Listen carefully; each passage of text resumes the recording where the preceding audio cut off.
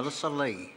That, Mr. Speaker, I was taking a little swig of the water uh, when my turn actually came up. It's a great pleasure to um, rise to speak on the third reading of the uh, Standards and Accreditation Bill, and I commend the Minister uh, for the hard work that he's actually uh, uh, given on this bill.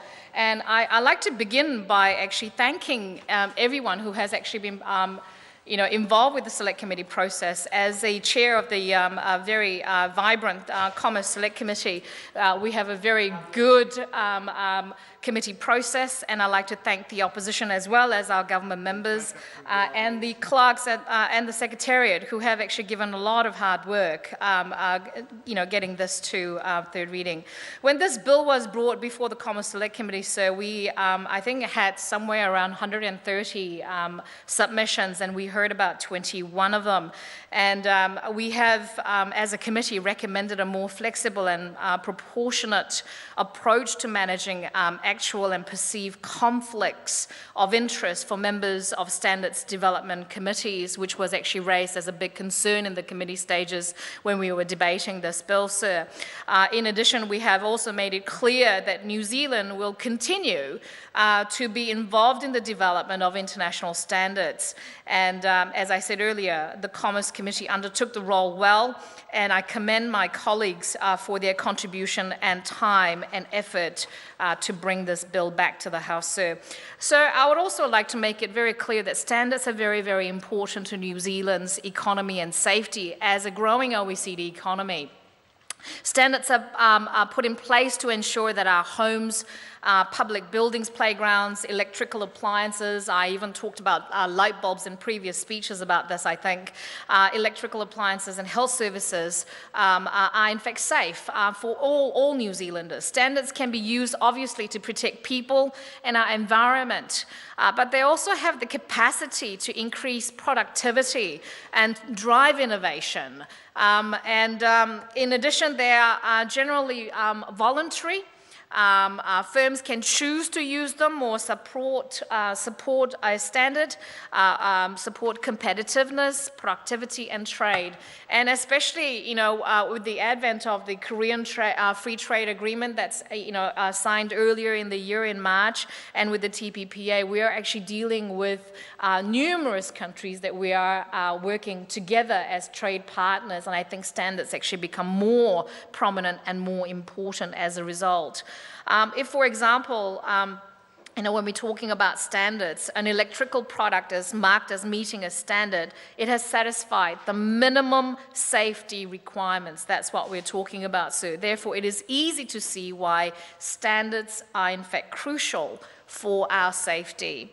Um, the impact does have um, on our economy. I mean, there is huge impact on our economy as well, sir. Standards actually underpin billions of dollars of export, as I was alluding to um, prior to uh, talking about TPP and um, uh, the free trade agreements with other nations, that, you know, when we are talking about, you know, exports, uh, uh New Zealand firms um, are dealing in a competitive environment with international partners, sir, and standards actually become crucial. Standards provide access to markets and give quality assurance for the products and technologies um, that New Zealanders use on a daily basis, sir. Uh, standards improve the effectiveness, uh, safety, and reliability uh, of many goods and services used by consumers and businesses. It is clear that standards and accreditation make an important contribution uh, to a more productive and competitive economy. Uh, the new bill is designed to ensure that New Zealand standards um, um, conformance and accreditation system functions well and meets the needs of businesses, regulators, and consumers. Uh, the Standards and Accreditation Bill is part of the business growth agenda and is aimed at strengthening the development uh, and delivery of New Zealand's um, standards, just as fresh legislation is being looked at to tackle obsolete laws, loopy law, um, uh, rules, and out of date acts of parliament that are no longer needed in our modern and innovative um, society, sir.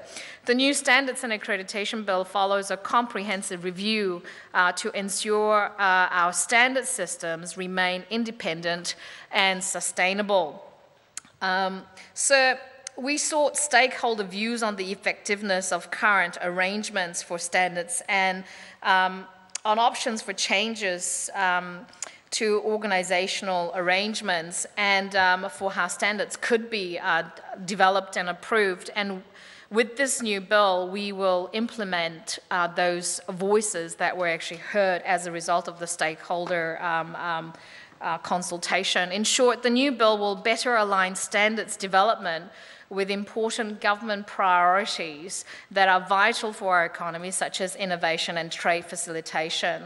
Uh, the focus of uh, Standards and Accreditation Bill is preserving and strengthening what works with our current arrangements and improving and reforming what is lacking from, our, um, uh, from that. We are aiming to improve standard development, uh, that has been slow to reform standards are out of date as well. We are aiming here uh, in this House to give real outcomes to business and industry, and it is vital that New Zealand continue to be involved in the development of international standards and maintain its linkages with the international uh, standards community, including the International Organization for Standardization, uh, the ISO, uh, and the International Electrotechnical Commission, the IEC. So, um, through the Standards and Accreditation Bill, we aim to um, provide assurance that uh, products and services are in fact fit for purpose, uh, that standards play a crucial role in contributing to trade, innovation, health,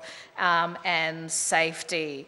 Um, as chair of the Commerce Committee and a national MP, it's part of uh, an amazing work that the ministers um, um in the House uh, have actually put together, and I'm very satisfied of the outcome, and so I commend this bill to the House. I call Clare Curran.